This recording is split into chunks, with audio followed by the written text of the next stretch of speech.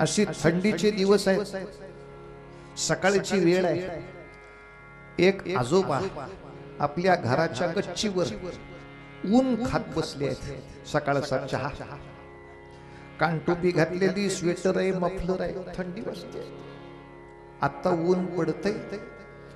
अशा अवस्थेमध्ये झकासपैकी ऊन खात बसलेत महाराज. तिथं एक फिरता विक्रेता आला.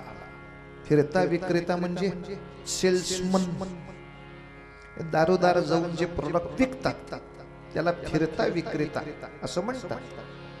तो एक विक्रेता आला आजोबा बघितला जिना चढून गच्चीवर गेला. आजोबा म्हणले काय आणलं विकायला टोपल्या? म्हणलं बाय काय काय आणलं? शॅम्पू. एकवीस प्रकारचे शॅम्पू आहेत. या शॅम्पूत हे आहे या शॅम्पूत हे नाही. असे केस असतील तर हा शॅम्पू तसे केस असतील तर तो शॅम्पू. असं पंधरा मिनिट सांगितलं किती पंधरा मिनिट. आणि हे सगळं सांगून झाल्यावर आजोबा म्हटले निघा. ओ निघा काय? माझा वेळ एवढा घालवला. एक तर शॅम्पूची बाटली घ्या म्हणलं कशी घेऊ? कान टोपी काढली डक्याला केसच नाही. एकही केस नाही डोक्याला. गॉन केस आहे. ज्याच्या डोक्याला केसच नाही. आता शॅम्पू काय विकणार? ते बिचाऱ्याच्या लक्षात आलं. आधी टोपी काढा म्हणाय पाहिजे होतं. फुकट पंधरा मिनिटं घालवली आयुष्यात. दुपटी उचलली. खाली आला.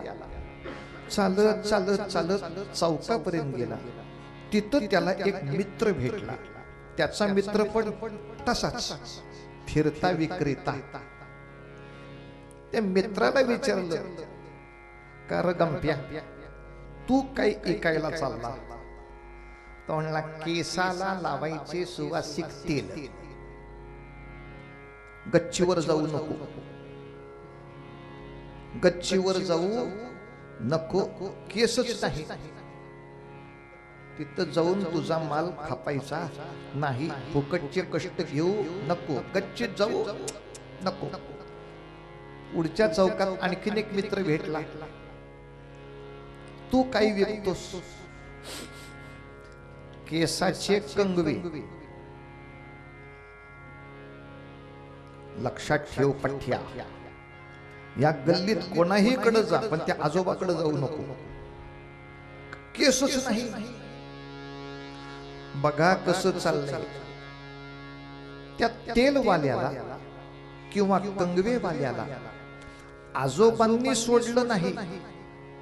त्या तिघांनी आजोबाला सोडलं.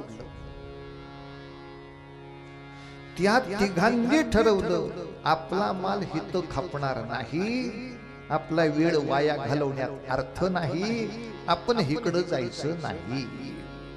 हे जसं त्या विक्रेत्यांनी ठरवलं तसं मद मत्सर स्वार्थ यांनी गप्पा मारल्या पाहिजे की जाऊया का इकडं? काही उपयोग नाही. विवेकानंद आश्रम आहे. चला बाहेर. तुमचा माल इथं खापायचाच नाही. भक्तांनी आपली श्रेष्ठता अशी वाढवावी की मद दारापर्यंत आला. दारातनं डोकून बघितलं की त्यालाच वाटलं पाहिजे. इस घर में हमारा कुछ होने वाला नाही. चलो. मत्सर दारातनच पळाला पाहिजे. तू कशाला सोडतो? त्याने तुला सोडावं. मते मत्सरे सांडिला स्वार्थ बुद्धी. त्या स्वार्थ बुद्धीनच मला सोडून दिला. पण असा मद आणि मत्सर मला सोडून जाईल यासाठी मी काय करू? यासाठी मी काय करू? सोपा उपाय. सगळ्यापेक्षा मी मोठा आहे. असं वाटणं म्हणजे मद आला. सगळ्या जगातला शहाणा कोण? विच. या महाराजांना याला काही येत नाही? यांना यांना काही येत नाही. हे तोंड वाकडं करण्यापलीकडं ज्याला काही येत नाही. त्यामुळं मद असलेला माणूस सारखा दम देतो. मदच्या उलटा दम. दम दम दम मद मद मद. आणि दम देताना तो एकच वाक्य सारखं सांगतो. तुला माहीत नाही का मी कोण आहे जणू काही ओबामाचा बाप हाच. एवढ्या मोठ्या सव्वाशे करोड लोकसंख्येच्या देशातला एक साधा माणूस तू? तुला माहीत नाही मी कोण आहे. मीच मोठा. हे डोक्यामध्ये बसलं की मद नावाचा शत्रू आपला माल विकायला आलाच. मग तो दारातनच पळावा.